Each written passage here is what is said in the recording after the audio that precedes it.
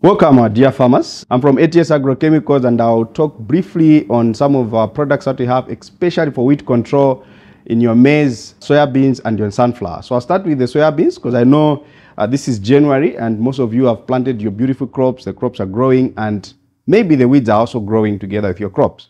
So the first product I'm going to talk about is a product called Caddy. So Caddy is a post-emergence selective herbicide and it will only control the broadleaf weeds in your soybeans crop. Actually, you can use this in your soybeans. You can also use this in your groundnut crop. The application rate for this product is one liter a hectare. And like I said, it will control the broadleaf weeds. So the advantage of this is that you can spray it even when your soybeans is very young. So before your soybeans get to what we call the third trifoliate, you can safely apply this product to control the notorious broadleaf weeds. The second product I'm going to talk about is a product called Harley.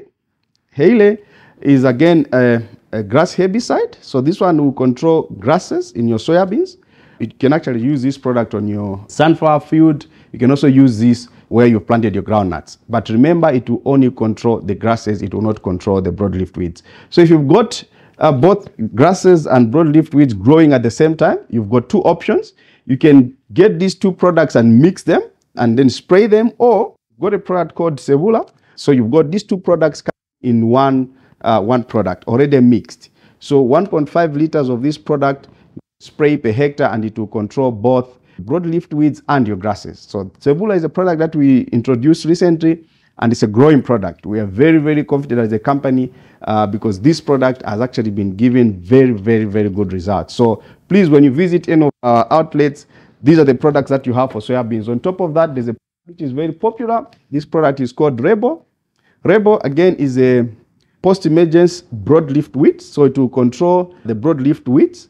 Again, very popular product, and if you've got nutsedge, uh, the members call it indao. So if you've got that, uh, that weed in your field, this is a chemical that you need to use. So this sachet should be mixed with 200 liters of water, and that 200 liters of water should cover one hectare. Then quickly, I'll actually talk about the maize herbicides. So we're still talking about the post-emergence, but now we're moving to the maize. So we have a product called Impi.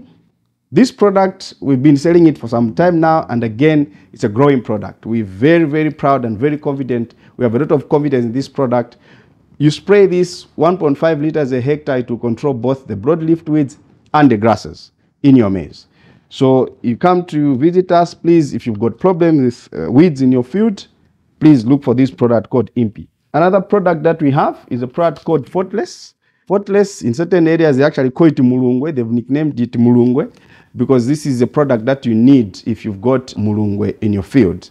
So one sachet should cover one hectare, but just uh, for those who are growing seed, just uh, watch out that you cannot use this on a maize seed crop. We do not encourage you using this product. But if you're going commercial maize and you've got Mulungwe problem and any other grasses, this is the product that you need to, to use. So like I said, a sachet will cover one hectare if you mix it with 200 liters of water. So for those who are growing sunflower, I mean, on our Facebook page, we've been receiving a lot of comments and a lot of questions on what they can be used to control weeds in a sunflower field. So you must understand that the sunflower crop is a very sensitive crop uh, when it comes to herbicides. So there are very, very few herbicides that you can use to control weeds uh, if you're growing sunflower. So what do we advise? What we advise is that before you plant your sunflower, you need to use a product called Piranha. I'm assuming that in that field you've got weeds which have germinated. You can use Piranha, which is your glyphosate, two to three liters a hectare, depending on the size of the weeds. You use this to clear all the weeds before you plant. So once you spray this, you kill all the weeds, you can come in and plant sunflower.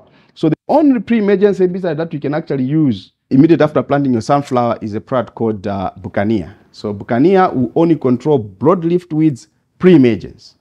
So after the sunflower has germinated and it's growing, uh, you don't have so many options there. The only thing that we encourage farmers to do is to use a product called Paraquat, but with caution. And I must repeat, you can use this product, but with caution. What do I mean? So you have to allow your sunflower to come up to maybe waist high, and then you can get this product, mix it with water. Uh, so you're talking about two liters in 200 liters of water and then you put it on knapsack sprayer with a shield and then you just target the weeds uh, underneath. So if you spray this product on top of the crop, you may end up damaging your crop. But if the crop is this high, paraquat can actually be used as a directed spray. So we call it a directed spray because you're actually just directing your spray onto the weeds and trying by all means not to touch your crop. So thank you very much. And um, I encourage you all to visit any of our outlets in the different uh, districts and you find these products and you find very competent people who will be able to actually explain uh, some of the things that I was actually explaining. Thank you so much.